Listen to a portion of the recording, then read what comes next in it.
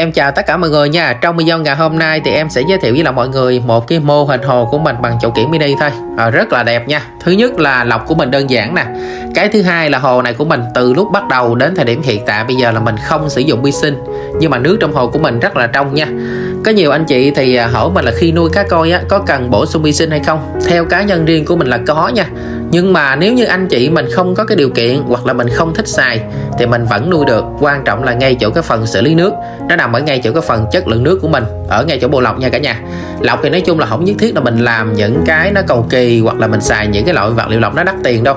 Những cái đơn giản giống như là di mát nhâm thạch lưới lan, mình vẫn làm lọc tốt, mình vẫn nuôi cá tốt, khỏe mạnh nha thì để biết rõ cái vấn đề này thì trong video ngày hôm nay em mời anh chị em của chú cùng với lại em sẽ về tỉnh Tiền Giang nha. Mình ghé nhà của em Tùng để mình tham quan cái mô hình hồ giống như mọi người thấy nè. Thì hồ này của Tùng mà hoạt động đến thời điểm hiện tại bây giờ cũng 3 tháng rồi.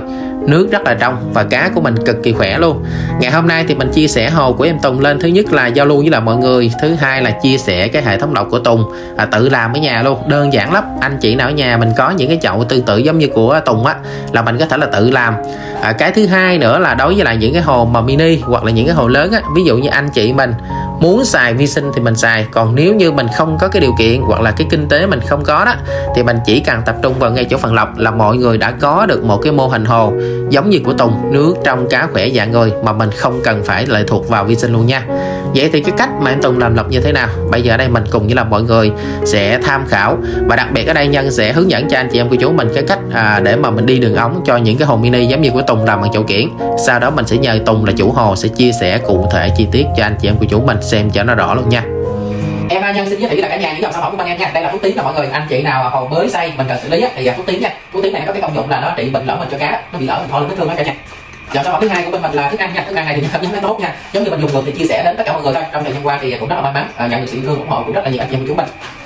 Đây là vi sinh. Vi sinh này thì à, nhân chia sẻ là mọi người như nè. Cái này giống như là mình sử dụng để hỗ trợ cho hệ thống của mình thôi. Lọc tốt thì sử dụng cái này mới có hiệu quả nha cả nhà. Nó hỗ trợ cho mình lọc trong nước với là hạn chế bụi tăng nhưng mà nhân nói lại một lần nữa là lọc tốt thì sử dụng cái này mới có hiệu quả nha cả nhà mình nha và đây là cái dòng sản phẩm này. Đó, hiện tại bây giờ mình làm cho anh em của mình rất là nhiều. Đây là cái ống nắng nha. Ống nắng này, nó sẽ dành cho hồ mình để bám trong hồ, hoặc là mình giấu bơm, đầu làm giấu bơm nha. nhà cái ống này nó sẽ hỗ trợ cho cái hệ thống lọc của mình để tốt hơn thì đây là những dòng sản phẩm của mình nha. Thì nếu mà anh chị em của chú nào mình có nhu cầu, thì liên hệ với lại cho qua số zalo trên màn hình nha. Cảm ơn anh chị em của chú rất là nhiều.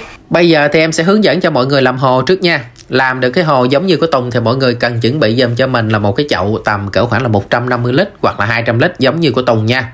Anh chị mình có rất là nhiều cái phương án để mình lựa chọn nha đơn giản nhất là mình sẽ để máy bên trong hồ. Thì ngày trước á, là em Tùng đặt máy bơm bên trong hồ luôn. Nhưng mà sau một cái thời gian thì Tùng cảm thấy là cái máy của mình nếu mình xài máy lớn đó nó sẽ hút con cá là cái thứ nhất nè. Cái thứ hai là nó sẽ chiếm cái phần diện tích để Tùng chuyển sang làm cái phương án nó hơi tối ưu hơn đó là đường ống chữ U. Nhưng mà cái đường ống chữ U á, thì mọi người lưu ý cho mình nè. Có những cái hồ anh chị mình á khi mà cúp điện nó sẽ tự vận hành nước trở lại luôn. Nhưng mà có nhiều hồ của anh chị em của chú mình, khi mà mình xài cái đường ống chữ U á, cúp điện là mình phải màu nha. Nên là Tùng cũng cảm thấy nó hơi bất tiện quá. Tùng quyết định là chuyển sang làm cái tối ưu hơn. Đó là mình sẽ khoan một cái đường ống dưới đáy của cái chậu nha.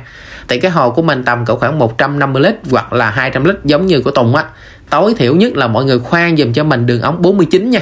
Còn không thì khoan luôn cái đường ống 60 để nước từ ngay chỗ hồ tránh á, nó ra bên ngoài hệ thống lọc của mình nó không bị hụt anh chị mình á sửa chữa nó cực lắm. Nên là tốt nhất mình cứ làm cái đường ống nó to. Để anh chị mình xài cái máy của mình á máy bơm á nó hơi lớn tí xíu nó sẽ không bị hụt nước.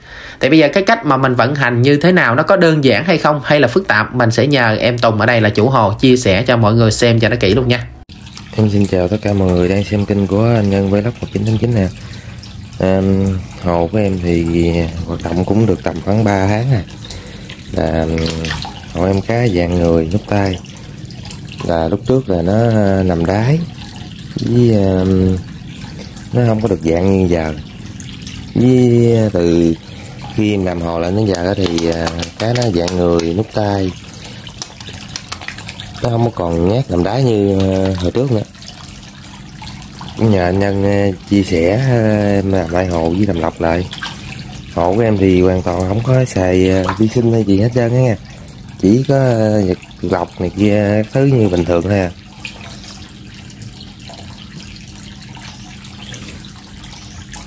Giờ mỗi lần thấy ra là nó lên lên, nó măng. Bơi tung tăng tung tăng, không có còn nằm đáy như hồi đó nữa em cũng cảm ơn anh đang Vlog. Ờ, chín tháng chín rất nhiều. Em chúc anh và tất cả mọi người ờ, đang xem kênh ờ, thật nhiều sức khỏe lọc của em thì cũng đơn giản lắm. Gồm hai thùng lắng. Thùng bên đây thì cũng than tổ ong, lưới len, lưới lan, rồi gòn lọc với trồng thêm cây dứa với cây trầu bà bên đây cũng vậy là gòn lọc với lưới lan với than tổ ong không à.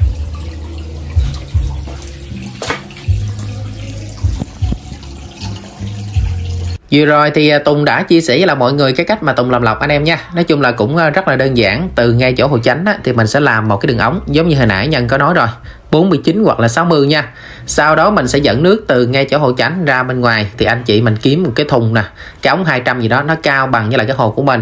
Sau đó mình sẽ nối cái đường ống đó vào thì trong đó mình sẽ để vật liệu lọc nè giống như là à, lưới lan gòn đen di mát gì đó. Cái nào mà anh chị em của chú mình ở nhà có thì mình tận dụng nha. Giữ phân lại sau đó, nước sạch của mình sẽ theo một cái đường ống qua thùng số 2 trong thùng số 2 thì mình có thể là để thêm một ít giống như là xi mát cũng được. Rồi cuối cùng ở trên mình sẽ để máy nha.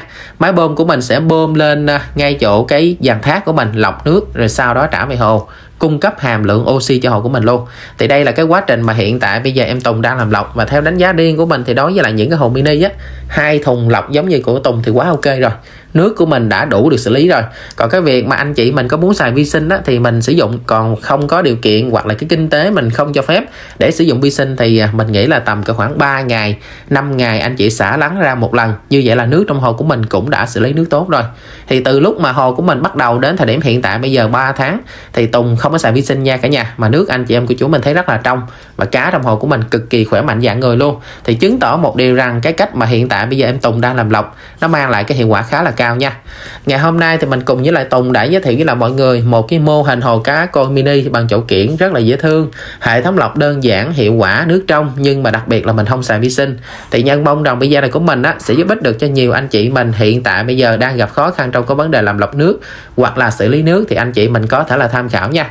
Mình à, xin phép kết thúc video tại đây luôn nha mọi người. Cũng đại diện cho bên kênh á, Tùng anh cảm ơn rất là nhiều đã chia sẻ hồ nè hệ thống lọc lên kênh cho mọi người tham khảo.